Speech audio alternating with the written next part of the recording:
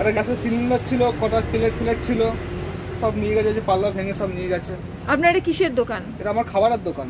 রুটি ঘুগনি আলুর দম মুরগির মাংস করি ছাট করি ডিম থাকে।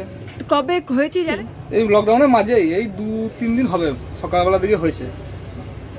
আপনি কবে জানতে পারলেন? আমি তো এখন ফোন করল একটা দিদি আমাকে রিপোর্ট দিদি ফোন করল তাই জানতে পারলাম। কি কি এসে কি দেখলেন? এসে দেখলাম যে সিলিন্ডার একটা গ্যাসের সিলিন্ডার ছিল ভর্তি। আর প্লেট বাটি যেই সব ছিল এইসব নাই এসে চুরি হয়ে গেছে।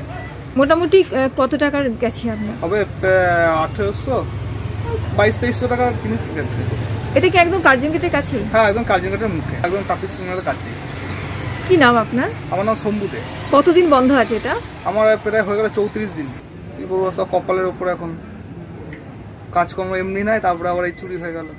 খবরের আপডেট পেতে যারা এখনও চ্যানেলটি সাবস্ক্রাইব করেননি তারা অবশ্যই সাবস্ক্রাইব করুন।